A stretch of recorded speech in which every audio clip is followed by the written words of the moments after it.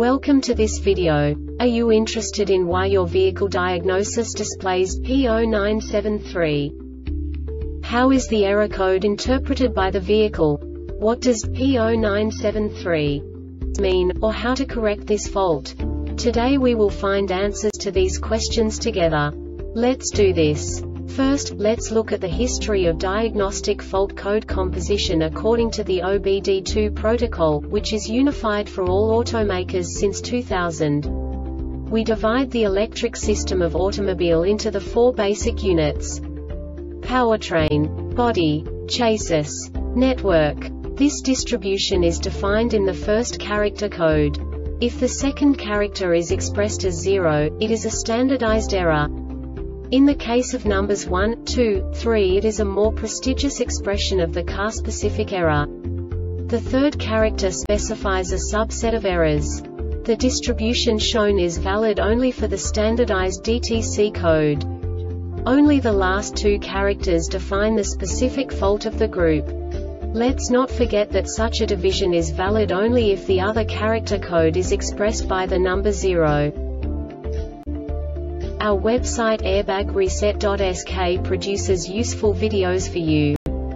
You do not have to go through the OBD2 protocol anymore to know how to troubleshoot any car breakdown. You will find all the diagnostic codes that can be diagnosed in a Pontiac vehicles. Also many other useful things. The following demonstration will help you look into the world of software for car control units. You unbelievably can move the video a bit further. The error code is split into two bytes consisting of 16 bits. One bit is the basic unit that each computer works with. The bit has two logical states.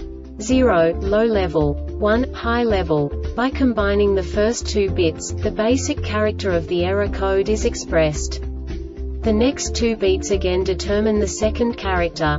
The last beat styles of the first byte define the third character of the code.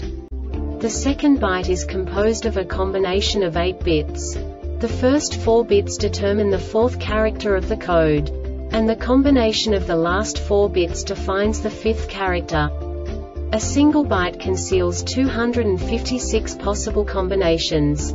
We now know in what way the diagnostic tool translates the received information into a more comprehensible format.